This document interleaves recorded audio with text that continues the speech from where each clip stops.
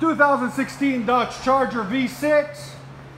We did a Super 44 Flowmaster setup on it. Still got the original catalytic converters. There's a Super 44 Flowmaster. And then a muffler delete in the back or a resonator delete. Some people call them resonator delete, some people call them muffler delete. And there's the muffler in the middle. Comes uh, right there and right there. I'll let you guys hear it in a minute. There's a Super 44, it goes right there in the middle.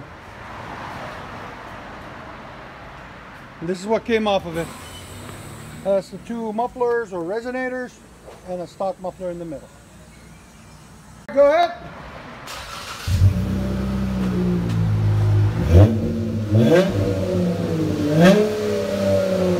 Super 44 gives it a really nice deep toe.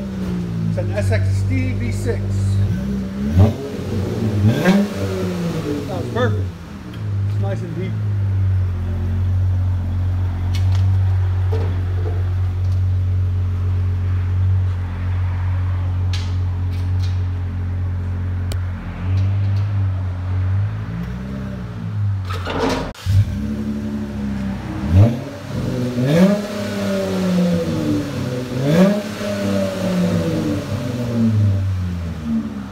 Comes out really nice and deep with that Super 44.